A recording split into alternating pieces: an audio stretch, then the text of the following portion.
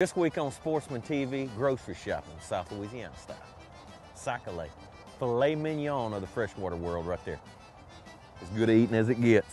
Scale on, scale off, it doesn't make any difference. Good as it gets.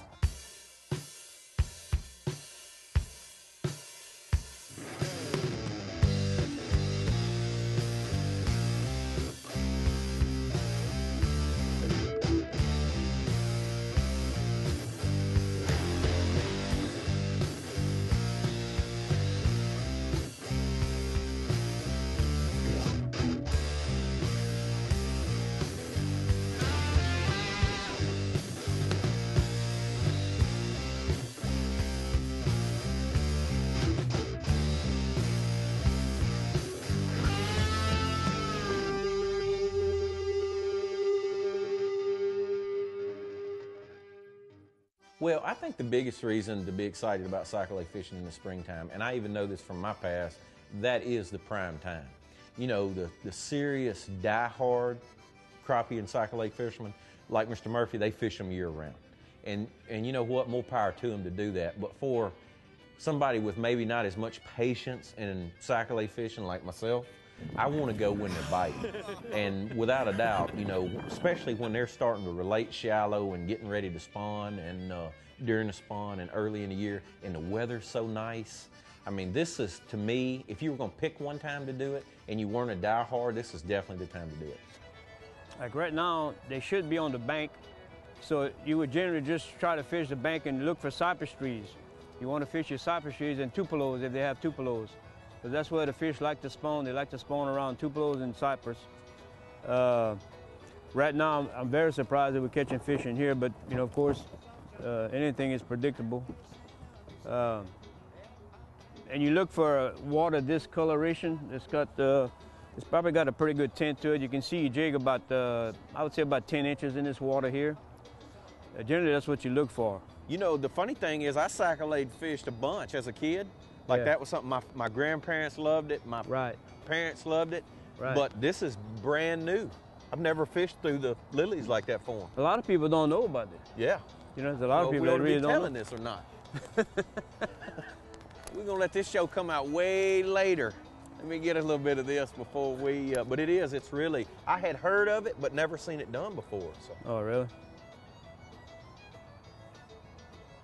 You know, I, I, prefer to cast with a rod and reel. Now, I prefer to fish for anything with a rod and reel.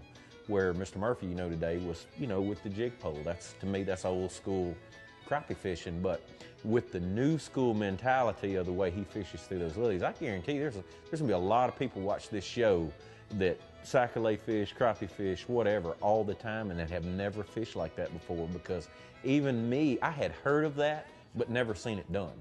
So that was a cool thing to, you know, to pull those crappie. I bass fish that way a lot. More times than not on the bass, regardless of how deep it is under the mat, they're normally right underneath it. What really amazed me today was how deep the crappie were. They were all the way on the bottom in nine feet of water under the mat. I, honestly, I probably would have never, even if I had fished through the mat for them, I probably wouldn't have fished on the bottom. You know, whatever it may be, the cool thing was he had them dialed in. We pulled right up on them this morning and start catching them. And yes, I'm taking them all home with me.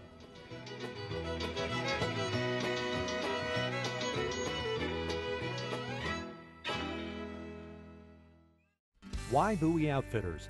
Our customers know why. Bowie Outfitters is a, a friendly place. Uh, Bowie Outfitters is a very personable place. Uh, when you walk in the front doors, everybody's telling you hello, and it makes it very easy to come in here and, and shop and, uh, be a customer and go to the archery range and go to the gun counter just because you're going to get personalized service. That's Bowie Outfitters, Perkins Road between Essen Lane and Bluebonnet. Bowie Outfitters for everything outdoors.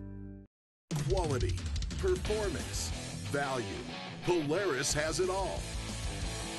Whether you want a hard-working ranger, smooth-riding sportsman, or razor-sharp razor, we've got a full line of industry-leading machines, all priced hundreds less than you'd expect. Right away on a Polaris Sportsman 400 for as little as $56.99 during the Polaris XP sales event. See all the great deals at Polaris.com. Don't just be a sportsman, look like one too. Men, women, kids, everyone wants to look like a good sport. And now you can find it all in one place without leaving the house. Our popular sportsman logo clothing and accessories are just a click away at louisianasportsman.com. T-shirts, caps, polarized sunglasses, jewelry, koozies, and more are available in a variety of sizes and colors. It's easy to show the world that you are a sportsman. Visit shop.louisianasportsman.com today and get that perfect sportsman item for yourself or as a gift for that sportsman in your life. At Strike King, it starts with the concept. Next, it's all about perfecting the prototype. Finally, it's about catching Yeah. a dream. This is a new prototype crankbait we're working on. Strike King. It's called a 10XD. Strike King 10XD. Wow! A five bass limit! Perfection to 25 feet and beyond. Catch your dream. Fishing. It's where good stories come from. It's about good times and family and friends. It's about taking a couple home for dinner tonight and saving a few for tomorrow. It's all about that and so much more. To CCA, fishing is about enjoying today and making sure tomorrow is even better. To us, fishing comes with a responsibility for the resources we enjoy so much. If fishing means all that to you, then you belong with CCA.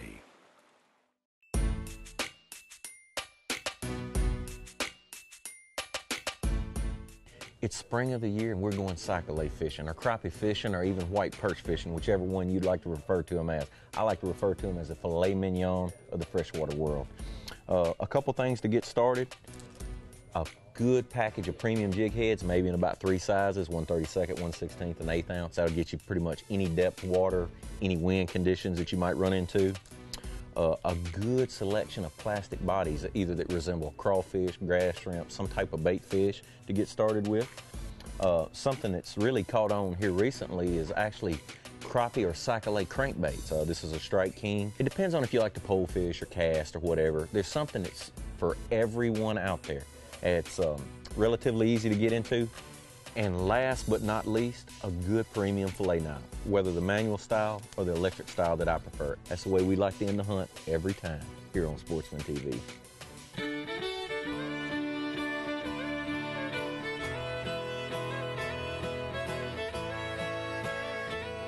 I've been fishing sac-a-lait for about 40 years. I started when I was about uh, 20 years old. Uh, basically, started here in Henderson and uh, just beating the trees and kept beating them and beating them until I finally figured out how to catch them. When I ate the sac-a-lait the first time, I knew that was the fish I wanted. I love to I love to eat it. It's a good fish, and it, it, the, the fish is hard to catch. I mean, you got to really know what you're doing to catch it. You know, it's, it's a challenge, and I love that challenge. You know. You know, uh, probably the first thing I noticed fishing with Mr. Murphy was how organized all this stuff was.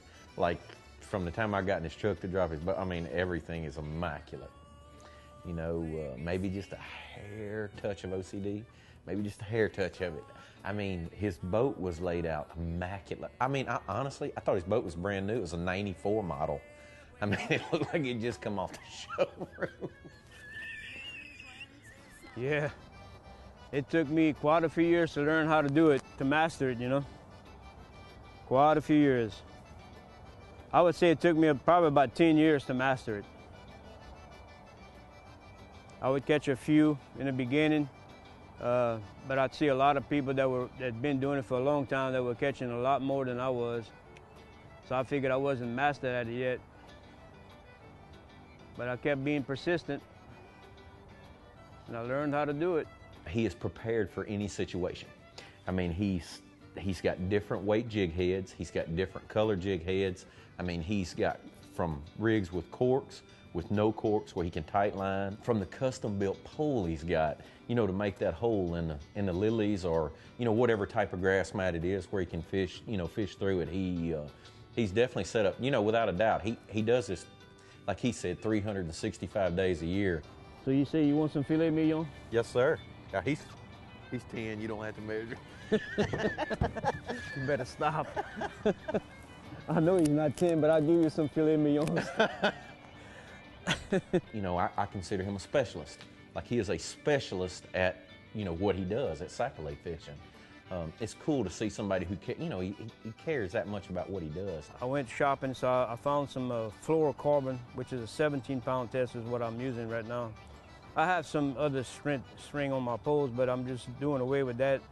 I'm using it up, and then I'm gonna stick with the uh, 17 pound test fluorocarbon. The reason I like it is because the string doesn't curl up, and you can feel the, the bite a lot better. And then you can watch what your string is doing. And I use the, cl- the clear clear on the uh, fluorocarbon. Uh huh. That way the fish, to me, they can't see that string like anything else. You know? I'm afraid he's fixing to tell us that that one's not long enough. No. that was, hey, we got to give him a chance. Yeah. You know, got to give him a little break, man. Why Bowie Outfitters? Our customers know why. When you need something, you come in, you ask for it, and you can get it. Great selection of clothes here, guns, shells, calls, whatever you need. I like coming in and doing that. And more importantly for me, I'm a big bow hunter. I think these guys are better than anybody. That's why I come over to Bowie Outfitters. That's Bowie Outfitters, Perkins Road between Essen Lane and Bluebonnet. Bowie Outfitters for everything outdoors. At Service Chevrolet Cadillac, the service experience runs deep. It begins with a major investment in our beautiful new showroom on Ambassador Caffrey. Add to that the largest inventory of exciting Chevy and Cadillac vehicles. Then there's the exceptional service that's made us what we are today.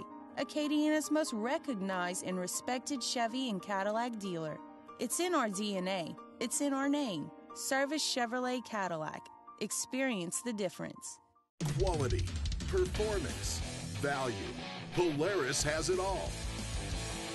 Whether you want a hard-working ranger, smooth-riding sportsman, or razor-sharp razor, we've got a full line of industry-leading machines, all priced hundreds less than you'd expect. Right away on a Polaris Sportsman 400 for as little as $56.99 during the Polaris XP sales event. See all the great deals at Polaris.com. As fishermen, we're predators. And fish are the prey. In nature, the best fishermen have one thing in common their eyes. How do you turn your eyes into the eye of a predator? It takes 11 layers of lens technology and a new lens color to make the human eye emulate the eye of a predator. Stop buying glasses for the classes. Make yourself an alpha predator. LouisianaSportsman.com is the South's premier hunting and fishing website. Planning a hunting or fishing trip? Visit LouisianaSportsman.com and get up to the date information on weather, tides, or solar data. Our breaking news and continually updating forum will keep you up to date. Or visit our report section and ask the locals what's been biting and where. Need to sell or buy an outdoor item? LouisianaSportsman.com's free classifieds are the quickest way for you to reach the outdoor market. LouisianaSportsman.com, the quick way to get the most of the outdoors.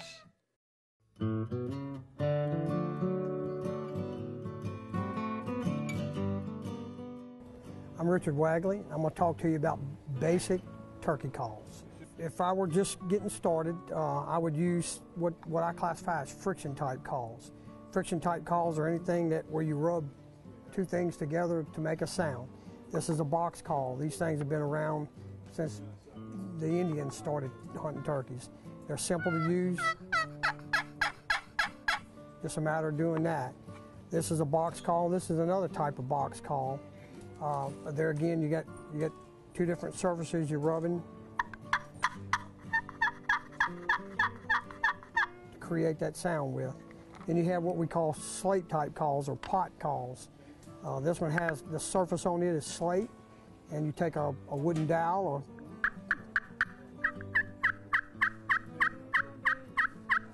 there again, it, it's simple to do. If you can write your name, you can run one of these calls. Turkeys actually have their own language, and as you understand them and fool with them more and, and around them more, you, under, you begin to understand that language as well. And you know when you, when you cluck to one what that's supposed to mean, when you, when you yelp to one what's that, you know, that means to the turkeys. And you can definitely overcall. There's times when you can overcall, there's times when you can undercall. It's just like duck hunting. If you're where those ducks want to be, you're a whole lot better duck hunter. Same thing with a turkey. If you're where they're wanting to go in that direction, that proximity, you can make yourself a whole lot better turkey caller.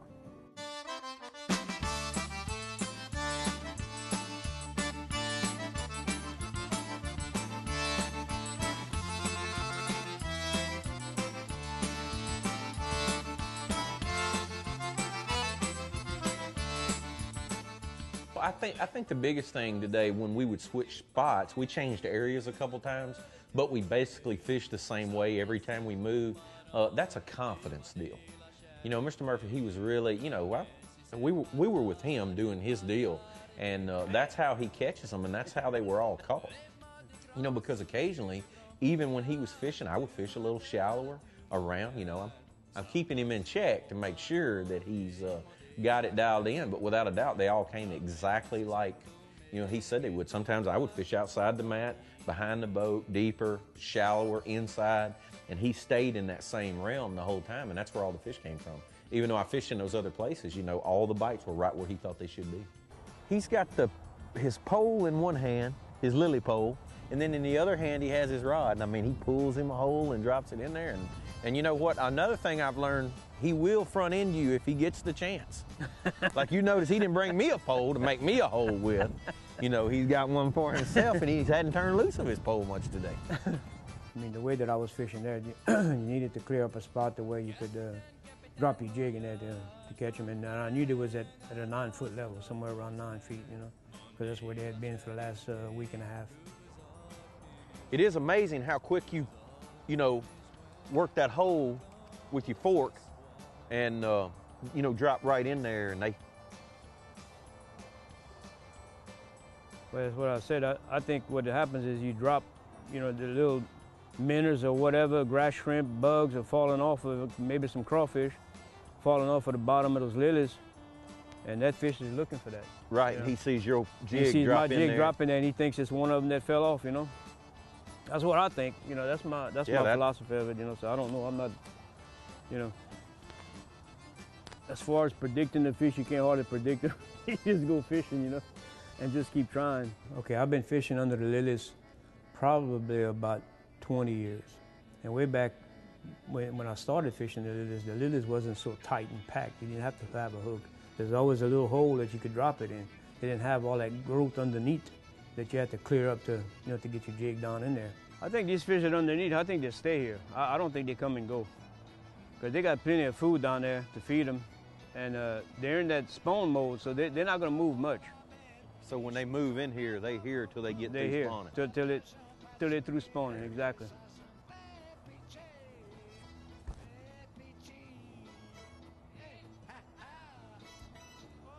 See, as you can see, the stomach on this fish is real flat. Chances are it's probably already spawned. Normally that belly would be real big. This is a female right here, this one here. So she's probably already spawned. How, how do you, uh, how can you tell? Well, the, That fe- the if- I female, mean, even on when they're flat bellied, that it's a female or well, the male? female's got that white belly like that. Uh, they're a lot lighter color. Right, they're light, lighter color. The male's a little bit darker. That's one of the ways to tell. Sometimes in, in the middle of the, the, the summer, it's hard to tell because they're almost all the same color. And depends on the color water you're in also too. But usually, I can, generally I can tell because I've seen it so much, you know.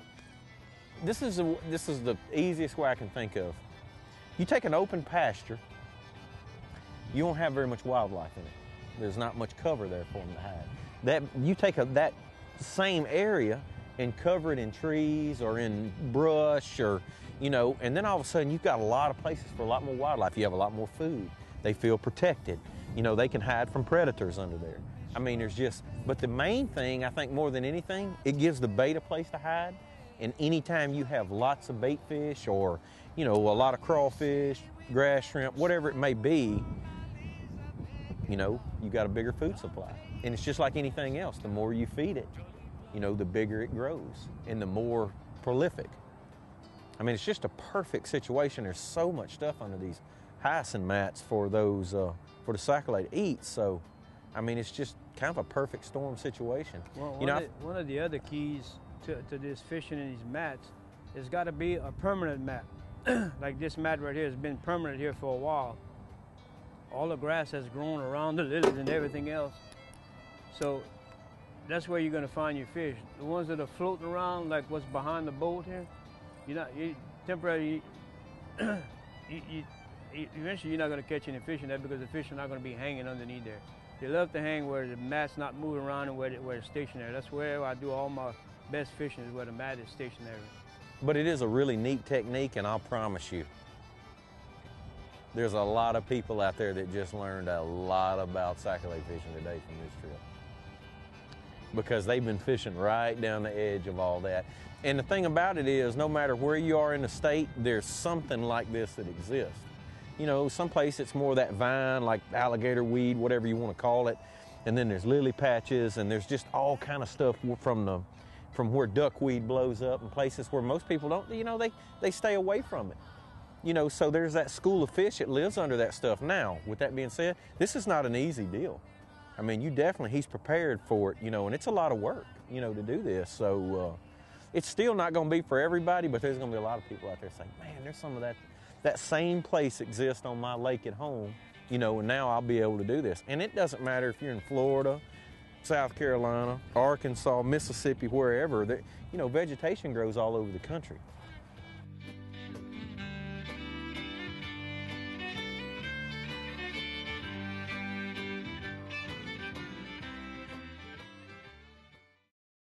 Why Bowie Outfitters? Our customers know why. Bowie Outfitters is a, a friendly place. Uh, Bowie Outfitters is a very personable place. Uh, when you walk in the front doors, everybody's telling you hello and it makes it very easy to come in here and, and shop and, and be a customer and go to the archery range and go to the gun counter just because you're going to get personalized service.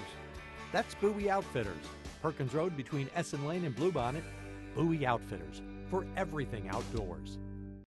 Fishing. It's where good stories come from. It's about good times and family and friends. It's about taking a couple home for dinner tonight and saving a few for tomorrow. It's all about that and so much more. To CCA, fishing is about enjoying today and making sure tomorrow is even better. To us, fishing comes with a responsibility for the resources we enjoy so much. If fishing means all that to you, then you belong with CCA. At Strike King, it starts with the concept. Next, it's all about perfecting the prototype. Finally, it's about catching yeah. a dream. This is a new prototype crankbait we're working on. Strike King. It's called a 10XD. Strike King 10XD. Wow! A five bass limit! Perfection to 25 feet and beyond. Catch your dream. At Service Chevrolet Cadillac, the service experience runs deep. It begins with a major investment in our beautiful new showroom on Ambassador Caffrey. Add to that the largest inventory of exciting Chevy and Cadillac vehicles. Then there's the exceptional service that's made us what we are today. Acadiana's most recognized and respected Chevy and Cadillac dealer. It's in our DNA. It's in our name. Service Chevrolet Cadillac. Experience the difference. Louisiana Sportsman Magazine. For over 31 years, your source for fishing and hunting information. Each month, you will find stories by local experts on everything from bass to redfish to ducks, deer to trout and turkey. We've got incredible local information that you can use immediately to get more success outdoors. You'll also enjoy monthly columns on cooking, the latest lures, GPS locations, shooting, kayaks, and much more. Have Louisiana Sportsman delivered to your house and safe. $24.99 gets you a full year of Louisiana Sportsman. To order today, visit louisianasportsman.com. Uh, you know, it's a cool thing. Mr. Murphy had a boat, it was loaded out. You don't have to have a boat to do this. This can be done from the bank.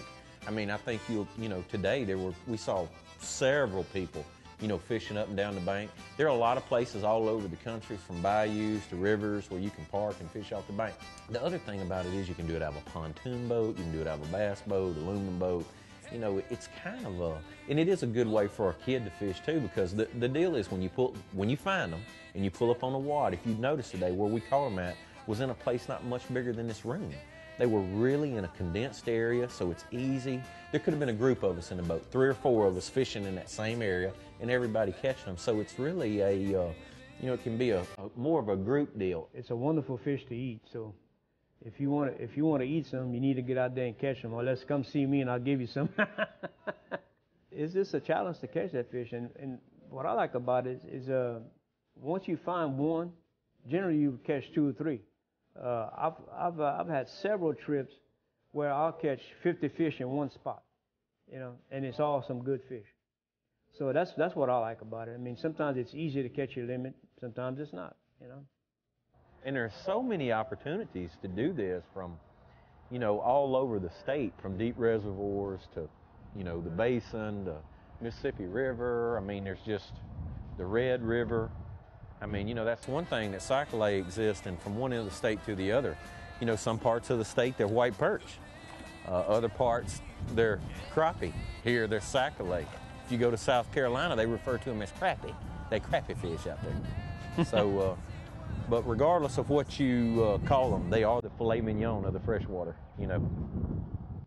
They either they, they, if they're gonna if they're gonna do it and they want to get good at it, they got to stay at it. You can't just come fishing once in a while and thinking that's you know you're gonna catch fish. It's not gonna happen. You got to stay at it. You got to beat the bush. You got you got to do it all, uh, and that, that you will learn how to catch them. You know. Now it helps to have somebody that knows how to do it to teach you, which I've taught a lot of people how to do it. You know, uh, and they love it. There we go. There's a good one. That's what I'm talking about right here.